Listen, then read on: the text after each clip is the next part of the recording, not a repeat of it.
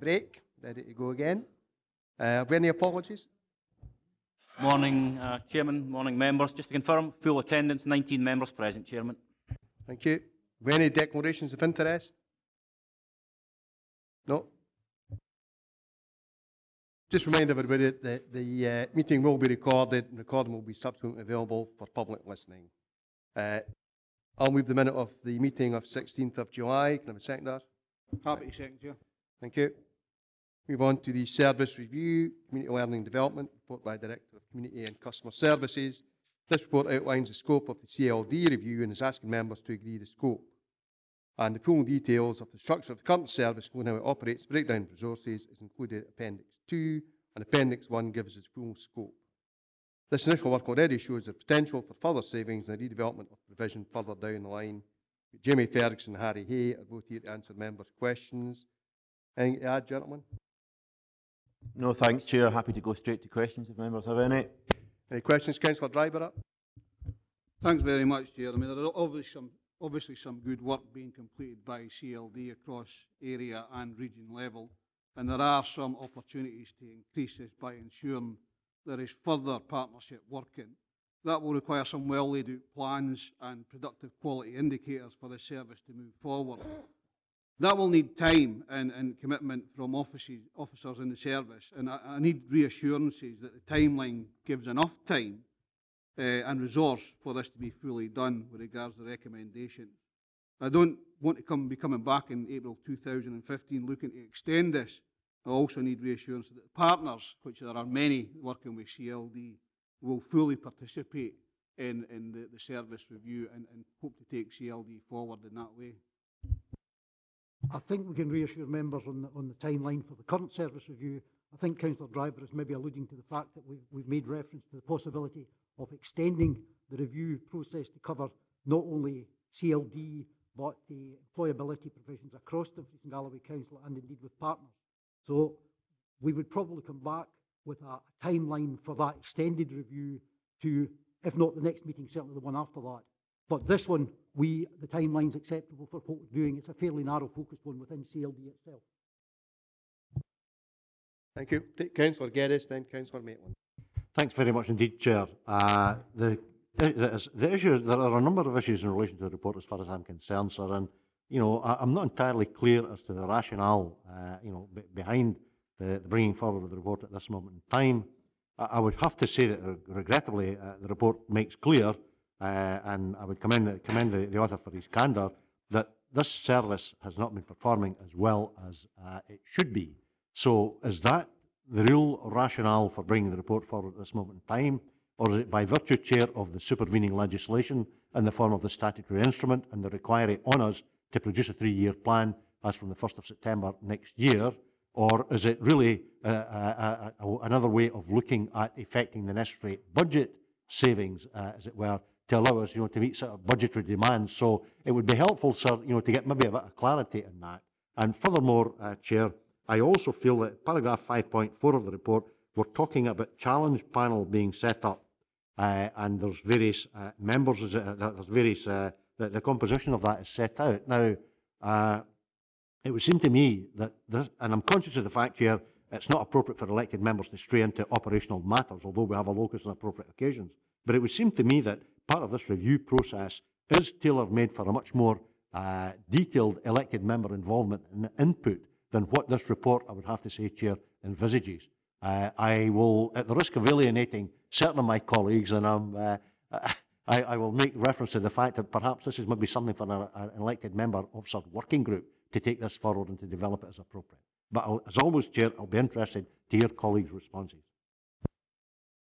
Thanks. Mr Geddes, I, th I, think each one of the issues you've raised is the reason why the service review is forward. Uh, obviously, we have got supervening legislation which we're going to have to comply with. That's a much bigger piece of work. We were required, all services were required to bring forward possible service reviews with as a way of making savings, and that is going to happen. We are improving as a service across the piece. I think if you look at the timeline, uh, we're, we're improving in HMI inspection reports as, as time goes on. There is still further room for improvement. I think we'll use this process to identify that. I think the, the wider review that, that, Councillor Driver was mentioning, will be a far more detailed review and will be cross-cutting, cross-service. This one is fairly narrow. You'll see the savings that we're, we're proposing are between £103,000 and, and £200,000. Uh, so basically, th- this is a very basic look at our own service. We will achieve improvements as a consequence of it. Can I say that we're following a template which the council agreed for service reviews? That's why the template is set out this way. So I do take the point about member involvement. I think uh, we've already had one in PHES uh, recently where the report came forward. It was in very similar terms, same format. What we're trying to do is get a consistent way forward on service reviews. I do take the point about a challenge panel. I think what the challenge panel will be doing will be not so much looking at the policy or the politics of it, but saying, is that really going to work? Are you going to save any money there? And I think that's the job for, for, for particularly finance officers and, and myself as director. But members will have a good deal of input when the next report comes up. All you're doing today is agreeing the scope. Once you've agreed the scope, let us take it forward. It will come back to members in full detail. And at that point, I would hope have member involvement in it. Hope that's helpful. Great, grateful for the response, Chair. Um, th- thank you, Chairman. Um, I was quite intrigued to read through this uh, to look at the levels of staffing um, in each of the areas.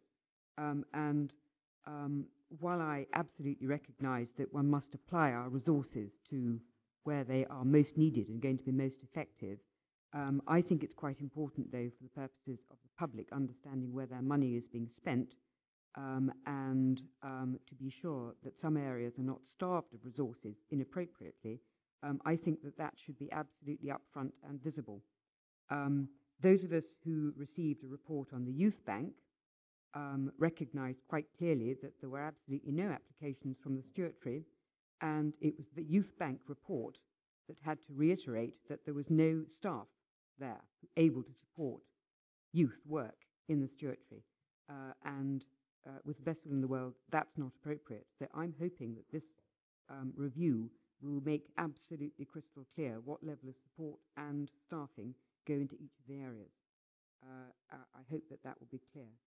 If I could possibly go on just to the second point, which is about um, not having um, a strategic community learning and development partnership at the moment, Chairman.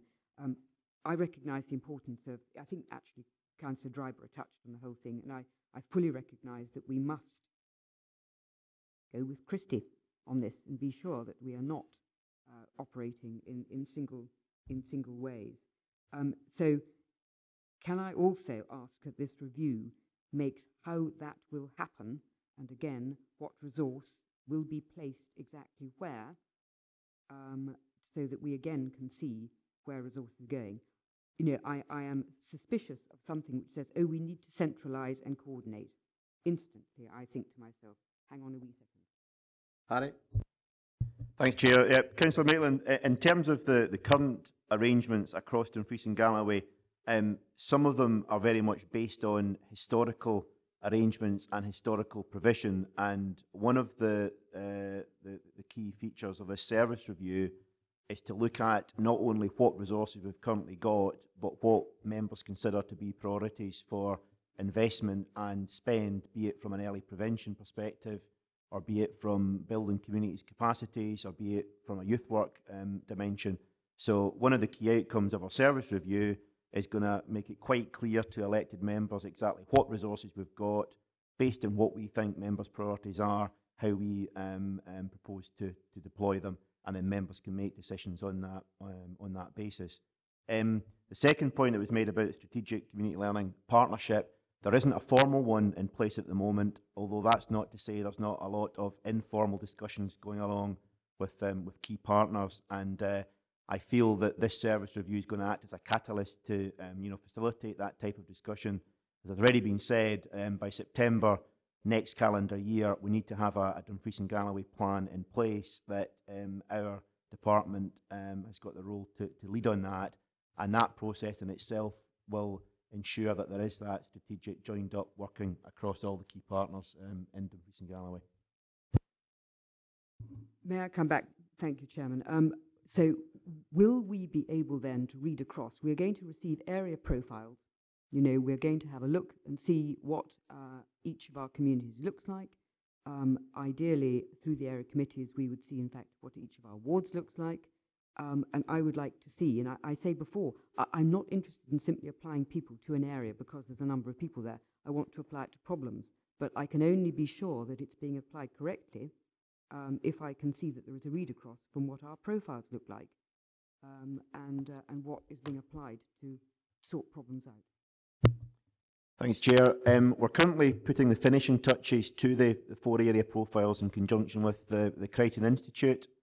And you're quite right that that will give a, a lot of um, um, intelligence about what the demographics, what the profiles are of the, the, the four areas. Um, and uh, that will help um, inform uh, in a, an evidence-based way exactly where, eviden- uh, where investment should go in the future. So those area profiles will form an important part of this, this process and they'll be available for elected members on an area committee basis in the very near future.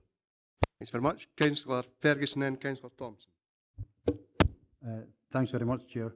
Um, Two-pronged question, really. Uh, First bit is under 5.4. I notice there is no uh, service user involved in the, um, the challenge panel. Given that this department's role is to actually uh, build up the role of community groups and to give them self-confidence and everything else, I would have thought it was imperative that they were inv- involved there because um, if you take the Education Scotland person, um, there is no external um, uh, review or scrutiny there. And you could hardly call Education Scotland uh, like a independent organisation. They're, they're who you're, you're getting all your, your tech, lot of your technical expertise from.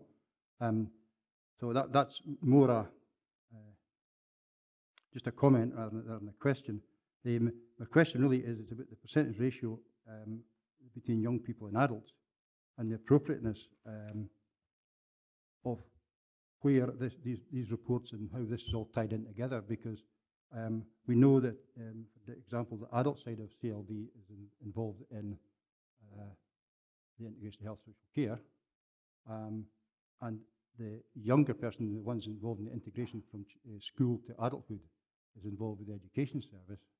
Um, is, are, is this review going to be able to look and say, well, hang on a minute here, this is a bit like social work, for example, where we've got um, two separate functions, but also have a bridge between the two to make sure that, that nobody gets missed out here.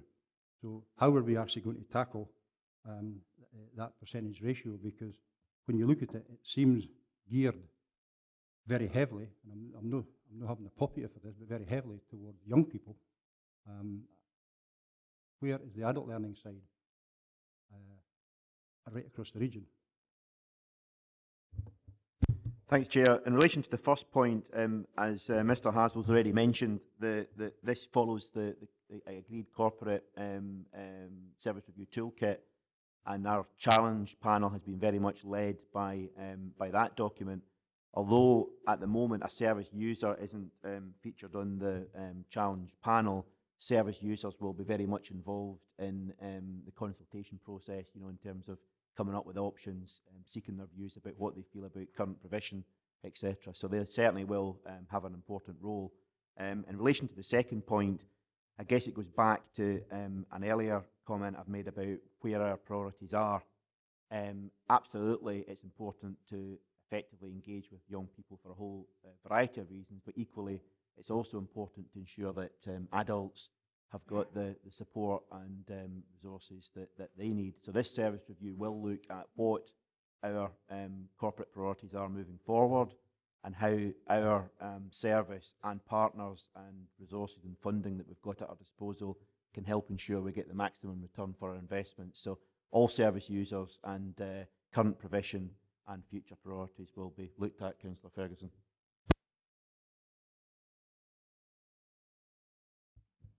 Thank you, Chair. Um, I'm a little bit confused about uh, what CLD is, just from reading the report. As far as I understand it, there's a, a community learning development regulations, right? And the Education Authority or the council has to come up with a plan by 2015, which to me seems like a leadership role for the local authority rather than a delivery role per se. So, but when we're looking at the report, it refers to, it sort of blurs the distinction between CLD as a community planning partnership uh, issue and one where it's a service within the council. So when you're reading through the actual paper, it's a wee bit confusing as to whether it's we're playing a strategic role or a delivery role. CLD seems to refer to both in this, and I think a wee bit of clarity in that might be helpful because I'm concerned we're uh, misinterpreting what our role is, perhaps, in terms of local authority, providing that leadership and joined up working rather than focusing on the delivery. So why do we have a CLD service when really we should be providing that role as a leadership to draw all together all the partners? So it's just a wee bit of understanding on, on these definitions.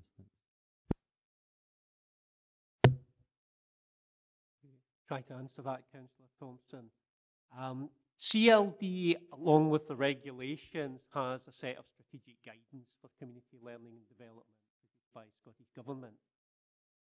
And I think it's fair to recognise that there have been changes in the thinking around strategic importance of community learning development and indeed how community learning development is delivered. Um, historically, within Dumfries and Galloway, I think possibly fair to say that community learning and development is very much about self-delivery. Workers on the services in terms of adult community youth work. Those, those were the the strategic guidance points community learning and development much more in the direction of partnership working and places on local authorities the responsibility to lead on that partnership working. And that's not only partnership working among internal partners within the council, with external partners such as the and very importantly, sector. And there's an increasing recognition of the role that a variety of uh, workers play in delivering community learning development, and they're under a huge variety of names and under kind of different locuses of control. Some of them some of them are private sector, all, some of them are third sector. And I think I think you're correct. There is that there is that responsibility, that accountability in terms of pulling together those partnerships, leadership. Every time a secondary school is inspected at, at the moment throughout Scotland, what's called the learning community also inspected. And that that's been on the go now since 2000. Uh, and by learning community is meant all of the partners delivering outcomes. Those outcomes being outcome, fairly broad outcomes are about community capacity building. They're also about curriculum for excellence. So CLD helps co-delivers curriculum in terms of wider achievement for young people. Uh, recognition that young people learn at school, they learn an awful lot about leadership, about It's also about um, early intervention, healthcare, work with people, up to first work. Broadened a lot from its definition. There still is a part of community learning development that I have to say that is about delivery and about building that credibility and that um, knowledge of local community. So community learning development workers do work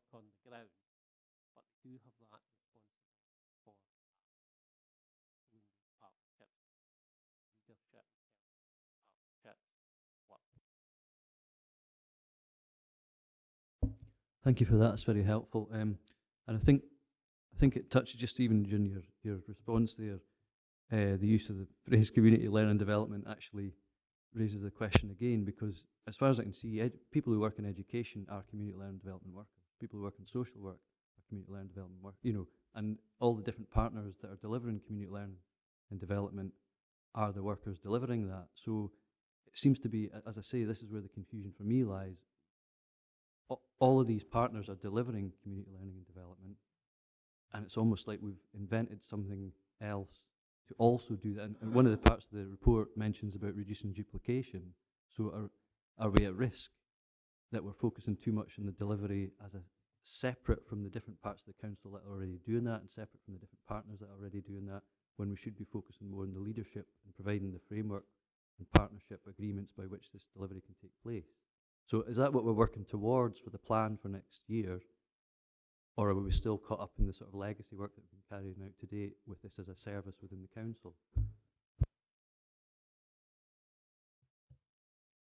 I think that's where the, uh, a large part of where I think some of those discussions are discussions having uh, with partners as what goes on. Community learning and development, just to be specific, still about, still about outcomes for young people. It's about the informal side of learning for young people rather than formalised. Schools do a very good job, for example. Education does a very good job of that formal side of learning community learning and development it is, is specifically about the side of learning that you could see as um, additional and external to what schools do.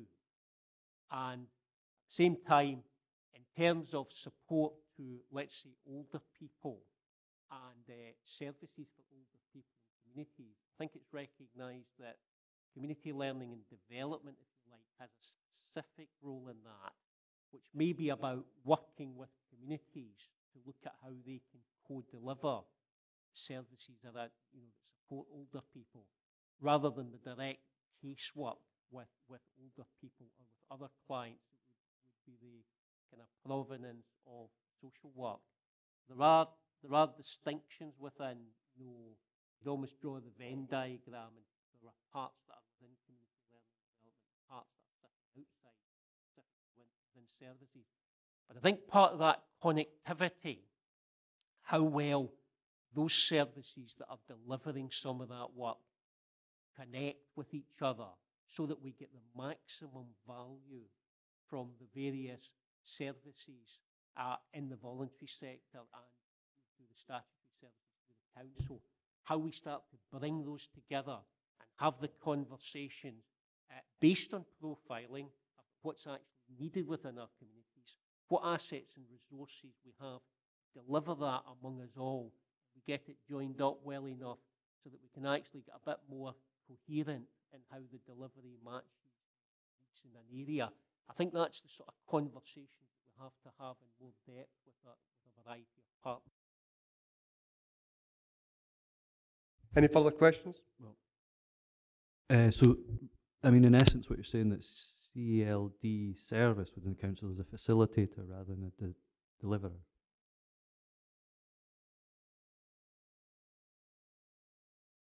I think we're still at a bit of a halfway house in that, although I think the facilitation aspect is certainly increasing, although I wouldn't, I don't know I would name it the facilitation as- aspect. I think it's the leadership aspect, often the support aspect, um, and I think the two go together. Some of our third sector and our voluntary partners, there's a bit of that as a leadership aspect, a bit of it as a support and a training aspect. But it's about there certainly is that bit about getting the, the connections right and getting the planning right around learning and development, leadership uh, expectation there. Um, from, from Scottish. Thanks very much, Chair. I, I, I may say for the record, sir, I find uh, Mr Ferguson's responses particularly helpful uh, and, and illuminating. But is there not, uh, you know, yes, we've got to have the conversation. Yes, we've got to, you know, translate that into, you know, sort of a much more effective uh, future than perhaps the case in the past. But, you know, there are areas where this service at the moment is already providing good outcomes. And my worry would be that as part of that process, that ability to continue to provide these outcomes, if we're not careful, might suffer. Can we have uh, an assurance, Chair, that uh, that will be recognised and, and, and, and borne in mind and, and guarded against? Thanks, Chair. Uh, Councillor Geddes, um, one of the things that we're focusing on very much in this um, review process is uh, examples of best practice, examples of work that's already having um, high quality outcomes. And that's not just our council telling us it's working with partners such as Education Scotland. So certainly what we want to do is maximise where um, investment is currently having very good outcomes. Um, we don't want to um, we don't want to reduce those. We don't want to move away from those. For no other questions, move on to the recommendations. Oh, John? Thanks, Chair. Uh, just to listen to the discussion, uh, representing a, an area of deprivation uh, that I do, I, I think it is very important that we look at the good practice in the past and ensure that that continues. The work that has been done in, in my area, especially in Kirkconnel and Home, has been tremendous uh, with the input CLD, and have supported myself personally on a lot of supports that we've been able to bring in. For instance, we're having a community futures meeting tonight that was uh, we were able to achieve through uh, coalfield regeneration. But I wouldn't have been able to drive that forward if it hadn't been for the support of CLD. There's a lot of initiatives been brought to our area. The father and children's groups have been na nationally acclaimed, bringing together men that wouldn't normally go to a school setting and bringing even grandfathers and everybody in. And that has had a tremendous effect on young people, especially in their transition to secondary school, which is in another area. So I think it is very important that we look at the good practice that's already been there, and uh, as my colleague said, that that, that continues because it's been absolutely vital in the regeneration of your area. Absolutely. I think, as, as Jamie's already touched on, what the service review aims to do overall, in a nutshell, is look at what the priorities are in Dumfries and Galloway um, and who, uh, in terms of what partner is, is best to deliver that and make a, a, better use of resources that we've got at our disposal. That, in a nutshell, is what we're looking to do, Chair. Thanks very much. Move on to the recommendations now. Two one, consider scoping, uh, scoping document. We've done that. Two two, agree the scope template. That? Comes outlined in appendix one. And two three, recognise there's potential for further review of services providing community learning development activity and that recommendations for further cross-service review will come forward through this work. I think arising from some of the questions that members have asked, we've given undertakings by officers and we'll ensure that these undertakings are carried through. Okay, can move on to item five, which is the uh, Regional Archive and Local Studies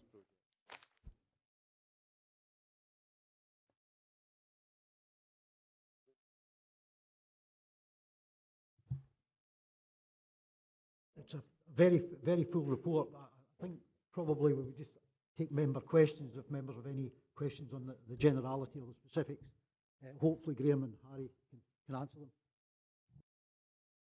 I think it is a very uh, full report. It's been longer gestation period than an elephant, so finally we've got to the, uh, the outcome, and uh, I'll take any questions from members. Councillor Maitland? Well, you're right. It has been really, really long. And usually the reason for it being really, really long is because it's really very complicated. Um, and um, I am a little concerned about whether, in the length of time that it's taken, um, the way that we actually use and enjoy and need our, our archives has actually changed. Um, I'd like people to explain to me about the balance between accessing digital, digitized records, and the pleasure that is had from that, being able to do that in your local community, as opposed to having trailed into a particular place where we're supposed, I think we're being offered fun and all the rest of it, which is absolutely splendid. But you know, that doesn't square easily with somebody just popping in on a shopping trip um, to go and do some research. I, I, I think the I think in many ways the, the questions that were asked are, are perhaps questions which were absolutely appropriate maybe three or four years ago, but maybe are less appropriate now. So I, I'd like somebody really to sort of talk me through the, the balance of this particular project now. Uh, I am a little concerned that we are looking too much to think about where it should be in the terms of centralised in the middle of Dumfries, as opposed to thinking about the function of this and whether or not the two functions could sensibly be split. I need a little help on this, please. Yes, certainly. Um, looking at the digitisation side, I think you're quite right. That's a huge and growing area, and we should do more and more on that. One of the elements of this project in Dumfries is to set up a digitisation suite, which we do not have at the. I see that as the crucial element to getting the material out there and access. Because you're right, not everybody should have to come into Dumfries to, to look at material. That's absolutely right. And what we'd like to do is use, uh, adopt an approach that's been pioneered by Highland, where they've used a hub and spokes approach in a, a very large area where they've wanted to try and deal with the geographical problem. So they've, um, they've got a central place in Inverness. They've also got one or two physical spokes, uh, places like Fort William and Portree. But they also concentrate heavily and increasingly on digitisation in their central location so that they can get access, they can provide access for people, say who want to look at the local history of Whithorn somewhere. And, and they, they, can, they can do that online. Now, with the best will in the world, we've, we, we can't digitise everything immediately, and it's going to take a, a long time to do that. We're at the moment embarking on our first really big digitization project, which is to digitise the Crichton collection, which will be marvellous for everybody in this region, a lot of people outside it. The Wellcome Trust are paying for that. And uh, that's about 160,000 images. And that'll take two and a half years. Uh, and Glasgow University are going to do that for us because currently we don't have the ability to deal, deal with that. So, um, those records, the Crichton records, take up maybe 50 metres of shelving. In 20 years' time, we expect to have about six kilometres of shelving filled with records. We've already got four kilometres of shelving. So, it, yes, we'd love to digitise everything, and we will increasingly digitise. What we can do, though, if we have our own resource, is to prioritise what needs to be digitized. If we go, Wellcome Trust are great, but they do special kind of funding just for medical. And there's other, we'd be able to get other funding from other places in bits and pieces. But to do our own overall view, that's, way we'd like to do. So we, we, I don't see that um, our approach is outdated actually, be, because, but I think we can place more weight on the digitization side because I think that is.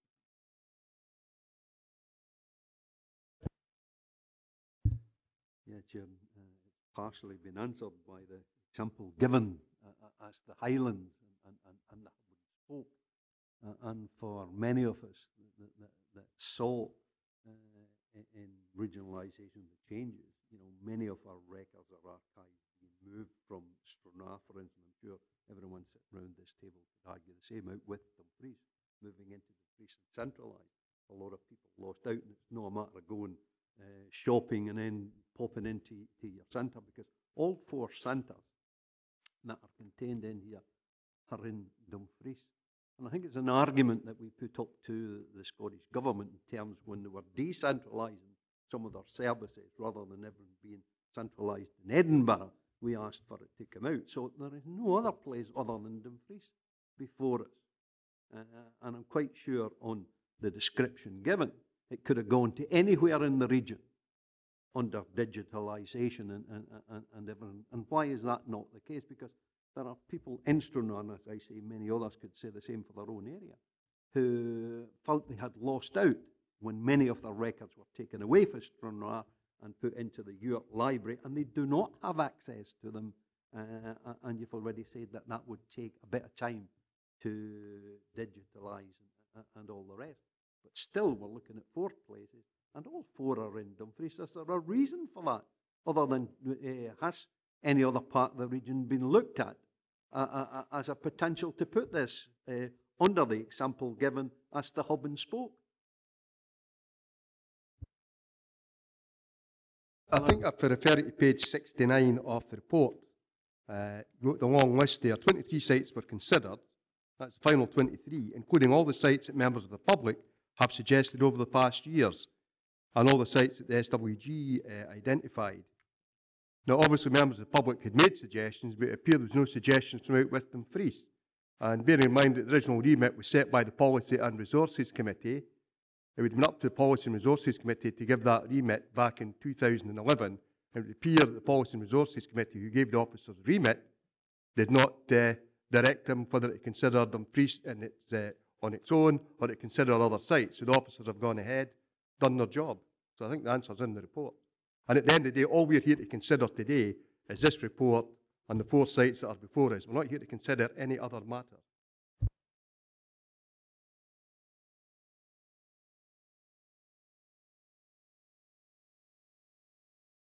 Stephen Thompson? Thank you, Chair. Uh, I'm conscious that the amount of history increases every day, um, and you mentioned before about the amount of shelving, uh, and I was just wondering, what would you say the rate of increase of shelving would be, given that uh, this is an archive is something that will forever grow, uh, and if we're going to be considering issues to do with space and all the rest of it, then that's something that are we planning for the long term for this, and how much room is there to grow, and how what's the rate of increase, if you like? Yes, we've, uh, we've got to plan for the long term if we want to get HLF funding anyway, but we certainly do intend to plan for the future. We're looking at the next 20 years, which is what the HLF wants to look at, and I think it's a reasonable length of time to plan for the immediate future. Um, the rate of increase there, as I've said, we're, going from about four kilometres to six kilometres of shelving, we think, over that period. So we're looking at about a 50% increase on what we have now. I see that increase as being bigger in the first few years than later on, as we get more and more digital curation needed for records that are already held electronically, born digital. So a lot of council records now are created in digital form, and often only are only in digital form. And over the next 10 or 20 years, I think that will definitely shift across in that direction, which means that we'll be holding more just purely in digital. So that, in a way, physical storage will become less of an issue, but it'll take a long time to get there. And we've got an awful lot of paper records to take in in the meantime. So I think by the end of 20 years, we'll be seeing a shift across to not needing so much extra space, uh, and but certainly needing an awful lot of service for whatever they have in 20 years' time. So, how much space would you need to expand into? I think that's really what I'm getting at. Is are are there constraints? I mean, obviously we're looking at the sites, but there's certain constraints that are to do with space and the, the sort of footprint, if you like. So, just really to get a bit more of your thoughts on that.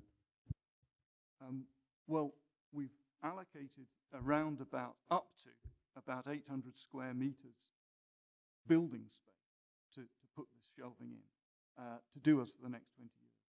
It might not need to be quite that much depending on the configuration of the shelving. You can get two-tier shelving with access, a stairway or a lift, in, in one in a one-story building. So there's different ways of doing that. Um, but and then after the 20-year period, uh, if as I believe and a lot of other archivists believe, the, um, the rate of accrual will slow. Uh, we'll, we'll probably be looking at, um, say, the next 50 years, uh, another building, but a, a small one to be added uh, to that. But it, it's so difficult to say because you, you don't know what's going to happen with, with the use of technology.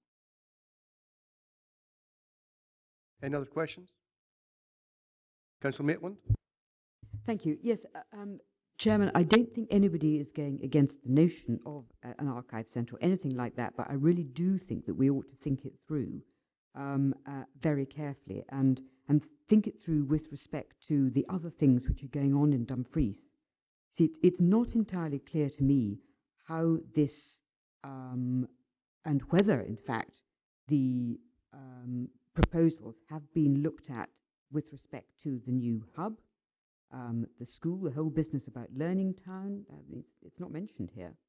Um, and I, I just would like to be assured, and with the development of the universities, I, I would like to be absolutely reassured that all these particular aspects have been gone into. Because, you know, the figures that we've got here, I've actually asked for the site costs, and I have got them, and I thank uh, people for that, indicate that in terms of cost, it really doesn't make a great deal of difference. What I don't have is revenue figures um, about what these uh, particular proposals would actually mean. And that would have been helpful, I suspect, for members to have had in front of them. They would have found that um, probably persuasive, but they're not here. And if somebody was to say to me, why on earth did you, did you choose that? Um, uh, as opposed to, did you choose that proposal as opposed to any other? Um, I don't have it. Unless I've, unless I've misread the whole thing.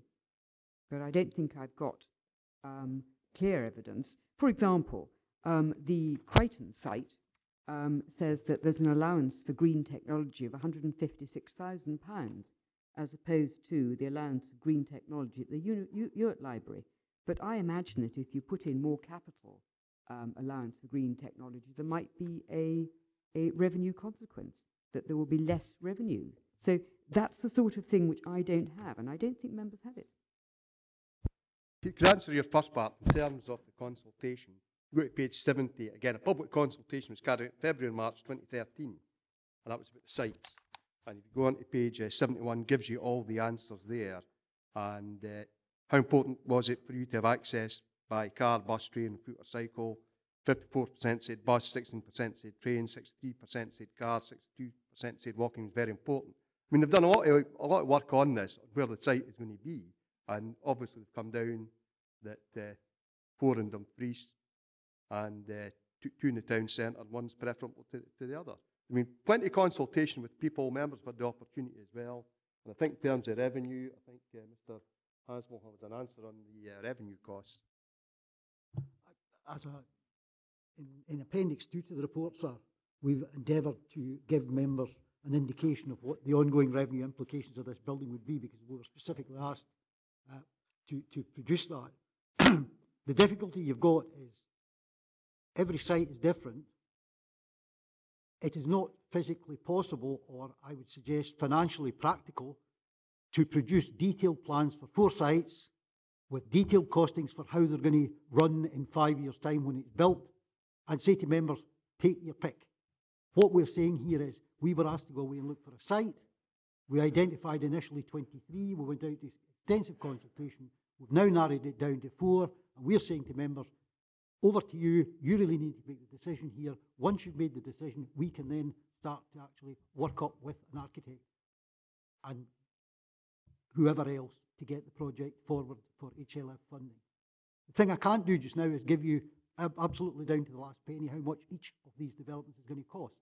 We've done it on the basis of a matrix, which is a well and tried, tried and tested method of doing these things. But sometimes members have to be asked to make a decision. I'm not suggesting you don't have fullest information because the matrix you have sets out what the projected costs are, what the projected running costs would be. It doesn't compare apples with pears, however, and say if we're a bigger biomass boiler over here, it would cost less to run than over there. I think one of the issues that the sites is some of the sites are more constrained than others, therefore there's less room to put green energy production. So Ferguson? Um, Thanks very much, Chair. Uh, My question's, uh, I'm I'm hoping a practical one. I can't see anywhere where it's um, the ability to expand, because given that- the uh, the hard copy records we have, the digitalised records are both going to increase. And um, the way, for example, this council produces uh, documents every year to be archived, um, it'll be a, a- never-ending uh, uh, conveyor belt. So can we, fact, if we get, get the next stage, can we actually have in here what, what their ability would be of any of the sites to actually expand and hold more?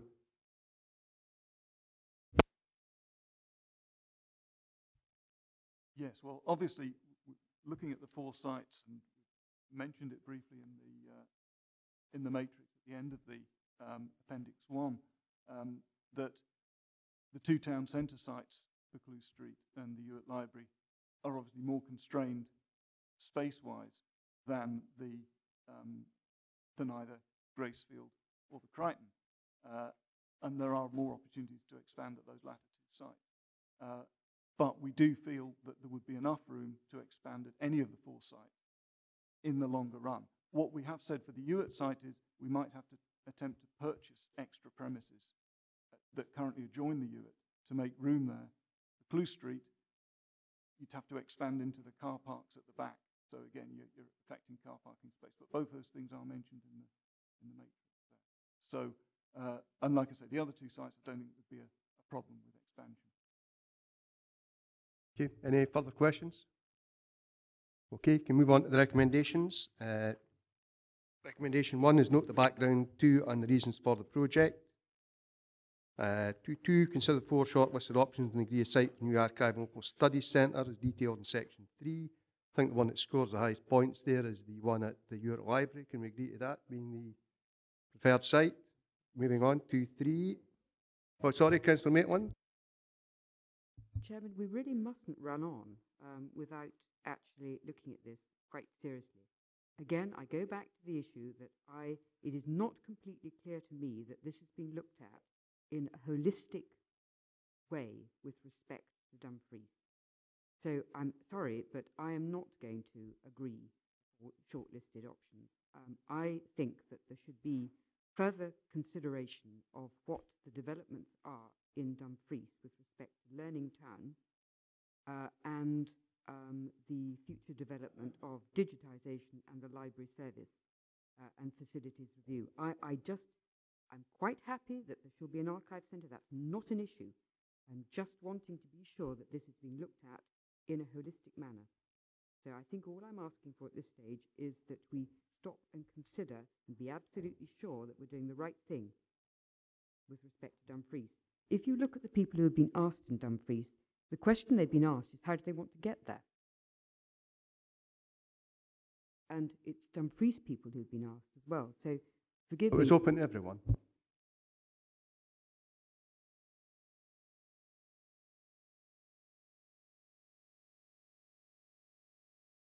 Thanks, Chairman. I mean, the, I need to discuss that with my colleague Roberta Tuckfield in regards to the only part of Councillor Meeting's question that wasn't answered when she asked earlier was, has there actually been any consideration in regards to the further development through Learning Hub and such like the Learning Town in, in Dumfries? Was, was that considered in any way before, uh, certainly, kind of as a part of that larger project?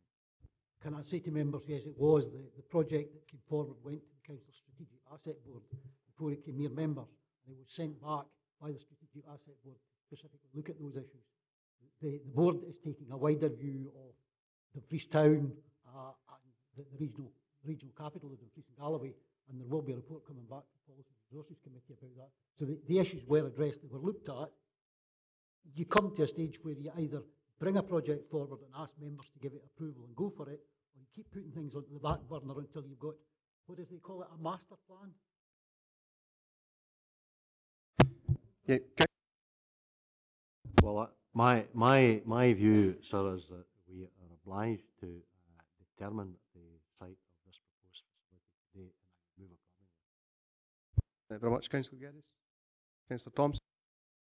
Thank you. Um, well, uh, just on the Ewart Library site, um, and it, it notes the possible future cost of purchasing adjacent premises for expansion uh, after 20 years. I'm just thinking, is there a, a sort of future cost shunt, if you like? Um, would it be worth just getting the extra space now? Because the property price in 20 years' time, if somebody knows that that's, we're tunneled into that, or funneled into that um, location, uh, maybe puts a, an added value in the property next door to the, the new facility. So it might actually be better value to get the thing now, and then that's you covered. Just a suggestion.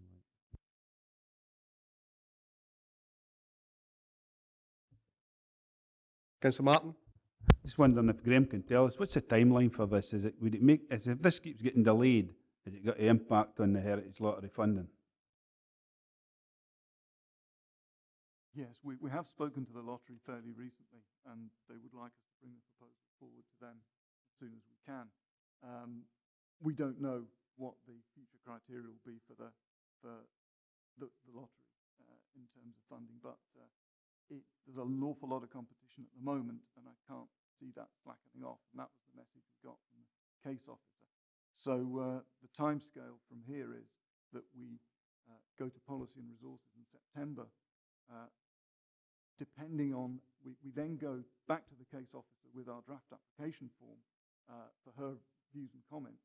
Uh, if she's positive with that, then, then we will go in October to the lottery with the final project. If she's not, it will have to be December. But that will be the latest that we would go, given committee approval from policy and resources. Take Councillor Carson and Councillor Geddes.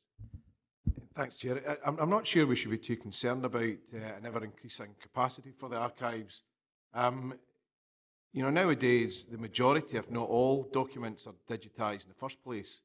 Um, there, there's very few uh, paper uh, records that need to be kept. And I would, I would suggest that in the future we actually have less paper records than we've got at the moment as, as, the, as they're digitised with no requirement to actually have paper copies at all. So I'm, I'm not too concerned about uh, uh, looking too far into the future with regards to, to, to storage. Thank you. Councillor Geddes? Well, I, I don't want to truncate, uh, to, to be seen to be trying to truncate discussion, Chair, uh, on what is a hugely important issue for the whole of Dumfries and Galloway, although I have more than a little sympathy for the, the comments that, that, that, that Councillor Scobie made earlier. But the blunt fact of the matter, sir, is I have moved the procedural motion that we proceed to determine this today. Thanks very much. Seconder for Councillor Geddes? Councillor Driver? May I request some advice, please? Um, are we recommending, in effect, to PNR that this is the proposal? Are we recommending, or are we agreeing the site, therefore it's set in, in tablets of stone? Could I please have a... It's the um, remit of this committee to decide where the site is. And then in terms of finance, that is a matter for the um, Policy and Resources Committee. So no, you won't be getting a chance at Policy and Resources to revisit the site argument. That will be determined today if that is the wish of the members. So have you got an alternative to the motion proposed? Uh, yes, quite happy then. I think we should uh, not agree. We should, we've considered the four listed options. Uh, I cannot agree to the Ewart. I, I simply have to say that at this stage. Seconder? Sir Thompson? Chair, I'm, uh, I'm not rushing into second at this point, but uh, it's actually just, is there also an issue to do with planning, given there's a sort of B-listed building? So is that, I mean, obviously whatever we decide today would have to then be approved, if you like, by other committees, if you like. No, we, are, we are determining the site, but at the end of the day, we haven't got the power to determine the uh, finance. That is a matter for the policy committee. The same way any other committee, if we're putting in a bid for lottery funding, we've got to get the match funding from the Policy Resources Committee. Normal procedure. Thank you, Chairman. As I understand it, we have a motion from Councillor Geddes, seconded by Councillor Dryborough, in effect, the procedural motion, which would be that we are in a position to determine the four sites today. Can I just have clarity on Councillor Maitland's amendment, please? I don't think I'm going to get a seconder, so I'm quite happy to say it's suggested. I don't think we uh, should, I don't think we should agree the Ewart at this stage. Um, so I am proposing we do not agree the Ewart. Just, just clarify, the, the, the position would be procedurally, the First Amendment would be to actually determine whether or not you wish to oppose the procedural motion, which in effect is to decide whether or not we choose the four sites first. We'll then go on to the next stage Understood. to select the four sites. Understood. Okay, right. Well, in which case, then I think I have to say no. I, I disagree with that. So I will, I, I will propose the opposite. Seconder? No seconder amendment falls. Going to uh, agree the site today. I did move earlier on that I think that bearing in mind it's been uh, looked at by officers and scored, and the one that scores the best would appear to be the Ewart Library site, and uh, I would so move. We have a seconder. Councillor Driver, thank. Thanks very much, Chair. And Just, just to come back in about expansion later on. Expansion isn't just about out the way, it could be up the way as well. And if we get uh, some people to, or architects to say that this can future-proof it going up the way, then we haven't got a problem. Is there any amendment? Councillor Maitland? Uh, yes, my, my amendment is that we do not agree with Ewart. The second of Councillor Ma- uh, Maitland? No, amendment falls. May I have my dissent recorded? You may have your dissent recorded. Thank you so much. So the committee is determined it be the Ewart Library site. Um, choice of site is made. Report will be presented to Policy and Resources Committee requesting commitment of match funding for the project. And two four note that once a preferred site is chosen, it will be a stage one heritage lottery fund application by the October deadline. Members agree to that? Thank you. Sixth, which is the Community and Customer Services Revenue Monitoring Report, and uh, gives the members overview of the current financial position facing CCS, forecasted overspend of 225k, which management team is currently managing. And I'll hand you over to Mr Haswell. Do you wish to add anything to this report? Uh, very little to add, uh, Chairman. We, we've identified at this early stage in the year a potential overspend of 225. I've detailed where it arises. It largely arises a fact that we've not been able to do integration as quickly as we would have liked and we've not had to take up on early retirements. I can tell members that that has changed since a recent decision taken by the Policy and Resources Committee. I fully anticipate that we'll put in a balanced budget at the end of the current financial year. And we'll be bringing monitoring reports back on a regular basis, and the management team will address these issues. Any questions for Mr Haswell? Finlay? Thanks, Chair. Uh, I'm a bit concerned about the, the community's facilities review not moving us forward as, as quickly as it might be when the communities are actually very much in favour of uh, community properties being transferred. Uh, a, a prime example is Glen, Glen Ken's Community uh, Hall, where the community have worked very hard um, uh, to actually take control of the building there, put together a, a, a viable uh, uh, project going forward, and also uh, looked at an amalgamation of uh, the trustees of the, the, the town hall there, or whatever. But um, it would appear at the final hour that the officers have been suggesting that they uh, adopt a three-year management plan, uh, which has, has sort of taken the wind out their sails. Um, it would appear that the same sort of things happening in New Galloway Town Hall. I, I just wonder why that there seems to the, the foot's been taken off the accelerator in this instance, where communities are, are actually quite keen um, uh, to, to take over properties. One certain uh, stumbling block appears to be the reluctance for the council to do a, a, a survey of the buildings to give the, the communities an idea of what the, the ongoing maintenance costs might be and a lack of information of how much funding might be available from the council to, to address um, you know, the business being fit for purpose in terms of roofs and uh, electrics. Um, but certainly uh, at the Glen Kens Community Centre in, in particular, um, I've got a meeting this afternoon, but that there is concern that there's a, a lack of um, enthusiasm from the, the council to actually uh, push this project through. Richard, you want to answer that one? Yeah, thank you, Chair. Um, I'm, I'm not aware of the specific detail of the Glen Kens uh, matter, um, but I will uh, speak to colleagues and come back to Councillor Carson directly in, in, in that regard. There's certainly no uh, lack of desire for, from officers to try and move forward uh, on the uh, on the proposals or indeed the community facilities that were agreed by members. Uh, so I would suggest that in some areas there's been a change of appetite from the management committees in terms of their desire to take on facilities. Um, and I guess in other areas where uh, we've, uh, we've been looking to do condition surveys, there's certainly no reluctance to identify the works nor the cost of the works that's required, perhaps the timeline and the works that, uh, both in terms of the condition surveys and indeed the capital works, has not been taken forward as quickly as we perhaps would liked. But certainly on the case, and there's certainly no, no desire for us to, to, to move back from, from this direction of travel, which was, uh, agreed by members. Thanks very much indeed, sir. Let me make it clear, Chair, that I have no objections whatsoever to, to, to the, uh, the arrangements that are being currently adopted, uh, as it were, in transferring properties to community trusts, etc., under this particular process. Uh, I think it's right and proper uh, that these organisations should be taken by the hand, if I can use a colloquialism. What does concern me, however, is that we have a historical legacy uh, of uh, other organisations being saddled with properties uh, which do not, uh, in fact, which, which really uh, are, are, are, in certain cases, are, are, approaching nightmarish and, and the situation that these organisations are having to deal with. And I would seek the assurance, sir, that the council will revisit, you know, these historical arrangements at the first possible opportunity to bring them into line with the more enlightened attitude that is being displayed and uh, shown in relation to the current uh, raft of transfer proposals to voluntary organisations. So Grieveson, you want to reply to that? Happy to give Councillor Geddes that assurance uh, through you, Chair. We'll uh, certainly uh, uh, pick up on these matters and make sure that this uh, approach that we're now taking is consistently applied. Thank you. Take Councillor Carruthers then, Councillor Marshall.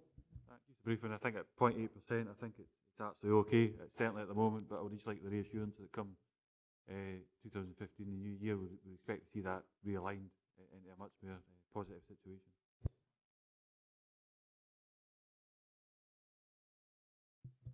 Uh, just it's with, with reference to top of page 95, um, obviously identifying that the potential shortfall of 125,000 both on the commu- community facilities review and the integration of libraries, CSC and registrars. I think we all knew that the timescales were quite ambitious when you look at the complicated nature of actually going into consultation, then looking at alternatives.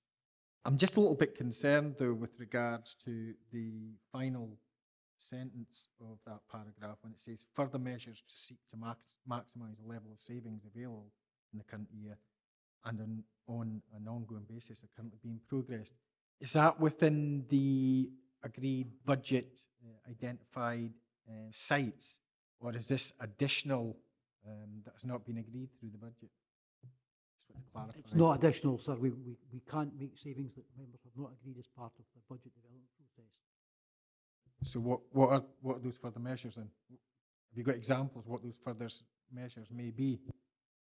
I don't have that detail, but I can give Councillor Marshall a copy of the, the detailed stuff. I think what we're trying to do is make sure that we're accelerating any works that are required to buildings and things like that to get them.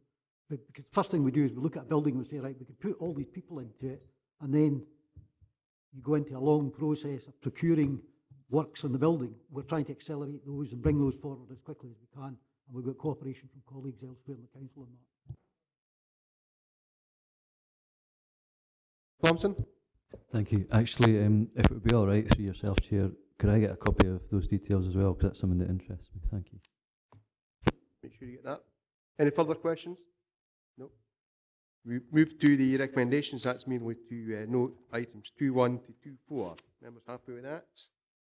Move on to item 7, which is the uh, Revenues and Benefits Service Progress Report.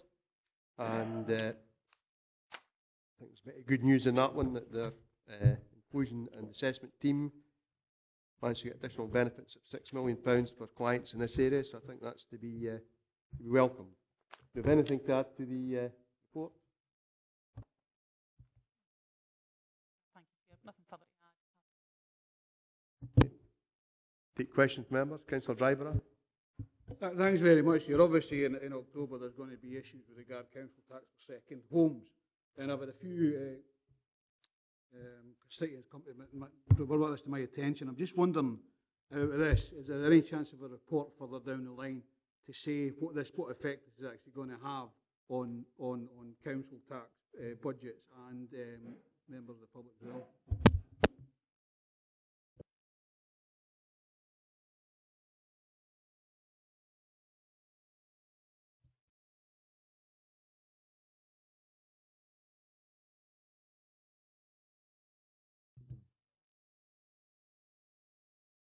Is it on there? Sorry. false alarm. Um, yeah, happy to bring forward uh, uh, a report. Uh, members will recall that uh, this policy was agreed last December through P&R Committee. Um, at, at that stage, the intelligence around the, the number of properties that could be um, affected by uh, this policy was unclear. We've done a lot of work on that in terms of uh, surveying and canvassing and, and getting additional information. So it's probably timely to bring forward that information and also uh, further considerations around the policy basis for members uh, to consider. So we're happy to do that. Um, and it'll, it'll go back to, I think, P&R committee in September. Further questions? No? Members happy to uh, accept the recommendations at 2.1, 2.2, 2.3 and 2.4? Thank you very much. Move on to item 8, which is the uh, DG1 update position, report by Director of Community and Customer Services. Uh, Mr Haswell, anything to add to this? Uh, no- Nothing really to add, uh, Chairman. The intention of bringing the report was to make sure members are up to speed of where we are with the temporary pool and hall. Uh, There will be a a- more detailed report on financials coming back to Policy and Resources Committee, I think, or perhaps even the full council standing there. But we will, we will be bringing members back. We're currently in a sort of a process review through courts.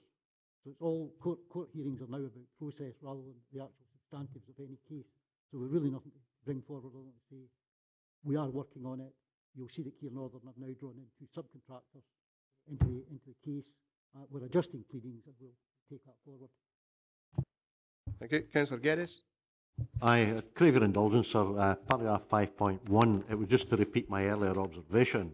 Uh, it talks there about the Loreburn Hall Community Trust confirming to the council that, based on the scope of the works presented, they would be willing to take responsibility for the building on a full cost lease basis once the need for temporary provision has ceased. the point I would make, sir, is that if we're not careful, uh, you know, this, and I'm not patronising uh, the trust, but if we're not careful, you'd finish up in the same situation uh, as has happened elsewhere in Dumfries and Galloway. Uh, and I would ask that, in fact, very careful consideration is given by the council to any such arrangement, because the last thing I would want to see is this authority being left open to the accusation that, you know, you hived it off and the full knowledge that, you know, this organisation would struggle in the future to upkeep and maintain it in an acceptable fashion. The point I'm making is that, you know, we should be, we should be looking at ways of taking this particular organisation by the hand on the same basis that we're taking other organisations by the hand. Could, Ca- Can I give Councillor Geddes the assurance that we're working with the organisation, they have a full business plan and business case, and it'll come back to members for members' final determination. I'm happy with that assurance with you, through you, sir. Any further questions? Councillor Maitland? Well, I'll, I'll also make the point that there were a certain number of members who were assured uh, that uh, that was what the deal was, that it was to be on a full cost lease basis, um, that, that, uh, that this money was spent. And there are those of us who are still a bit grumpy about that. There we are. You can record your dissent again if you want, however. Councillor Carson, did you have anything you wanted to? Uh...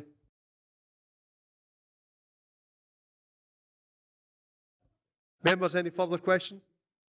No? Happy to accept the recommendations? Okay, thank you very much. I have no further business. Thank you all for your attendance.